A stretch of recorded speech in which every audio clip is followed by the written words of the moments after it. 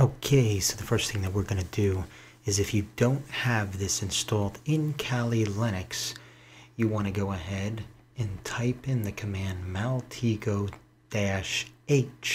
as I just did already on this command prompt.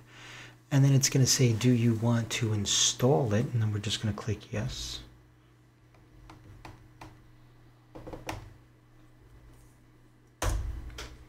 And at this point, you're going to have this installed on your Kali Linux. So this is step one.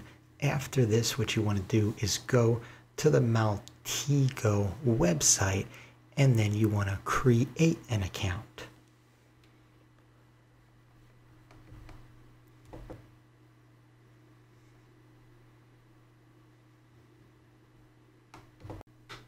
All right, so the next step is to go to maltego.com and then what you want to do is you're going to click on where is it? Right here products and then you click register for free. Once you click that you're going to get this um, page up. It's going to say register a Maltego CE account. So then you want to go ahead and fill all this out okay?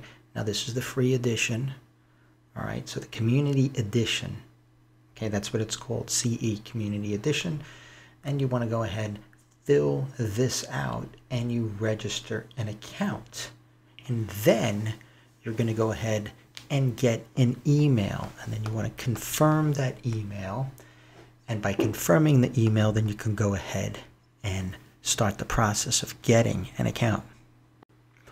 Okay, so once you have completed and verified your account via email, then you're going to get, a, ahead, click that link going to say account successfully activated. And now we are ready to go back to Kali Linux and get some work done. All right, next step, just in case you are not updated, what you want to do is go back to the Kali Linux terminal and you want to go ahead and type in sudo apt update and make sure that you are all updated with the Kali Linux version that you are running. This is always a good thing, especially if you haven't used Kali in a while. So we're going to wait for this to be done. Then we are going to go to our next step. Okay, so now we can go ahead and uh, I just clicked the help menu and you can see all this information came up over here.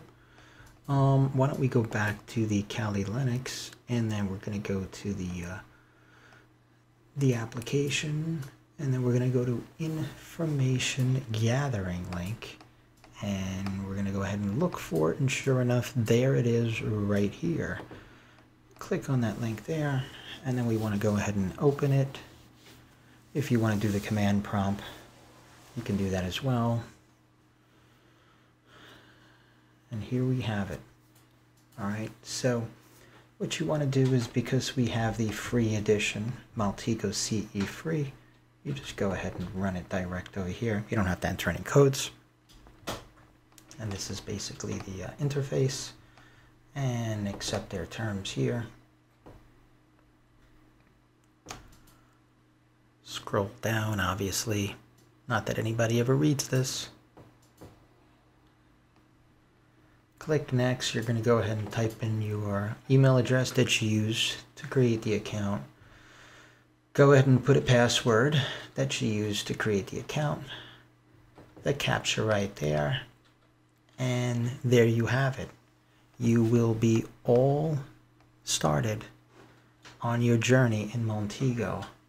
Now I'm going to go ahead and do a next video on the actual operations and the usage. This is a really good information gathering um, open source program here and uh, I do highly recommend it